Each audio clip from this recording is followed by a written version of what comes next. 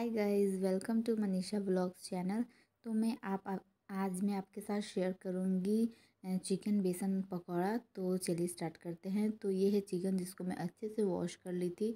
इसमें मैं ऐड की हूँ लाल मिर्च पाउडर हल्दी नमक और चिकन मसाला।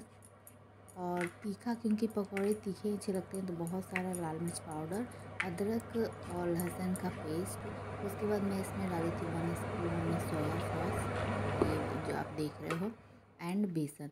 और बस इसको मिक्स कर लेना है। इसमें मैं डालूँगी one spoon oil mustard oil और फिर इन सबको अच्छे से मिक्स करके मैं रख दी थी टेन टू फिफ्टीन मिनट के लिए। तो ये मस्टर्ड ऑयल ही आप यूज़ करें तो ज़्यादा बेटर रहेगा। एंड मेरे पास चिली फ्लेक्स भी रखा हुआ था तो मैं वो भी ऐड कर दी थी। तो अगर आपके पास चिली फ्लेक्स है तो आप उसको ऐड कर दो और आप ग्रीन चिली सॉस भी ऐड कर सकते हो, ऑप्शनल है। तो ये देखिए, बस इसको अच्छे से मैगनेट करके, मिक्स करके मैं इसको रख दूँगी दस से पंद्रह मिनट के लिए। तो टेन मिनट हो गए हैं, अब चलिए देखते हैं।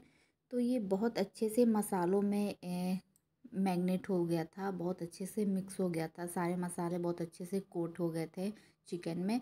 और आप चाहो तो इसमें कॉर्न फ्लोर भी डाल सकते हो कॉर्न फ्लोर अगर आपके पास है तो डाल लीजिए, और भी अच्छा है। और बस इसको मैं मस्टर्ड ऑयल में फ्राई कर लूँगी बिल्कुल लो फ्लेम पे। जिंजर गार्लिक पेस्ट डालने से इसका जो स्वाद था वो और ही बहुत ही अच्छा आया था, बहुत अच्छा लग रहा था। तो बस इसको ऐसे फ्राई कर लेंगे और ये बहुत ही क्रिस्पी बना था, आप आगे देखना। और इसको आप खाइए चिली सॉस से तो आपको बहुत ही अच्छा लगेगा। या फिर आप घर में ही चटनी बना लीजिए, उसके साथ भी बहुत ही यम्मी ये लगने वाला है। और हाँ इसमें मैं काली मिर्च और थोड़ा सा जीरा पाउडर भी ऐड की थी। सॉरी, मैं स्टार्टिंग में बताना भूल गई। तो जीरा पाउडर काली मिर्च का पाउडर भी मैं इसमें ऐड की थी और इसका टेस्ट रियली उतारी, बहुत अच्छा लग रहा था। तो आप भी ये पकौड़े ज़रूर ट्राई करना।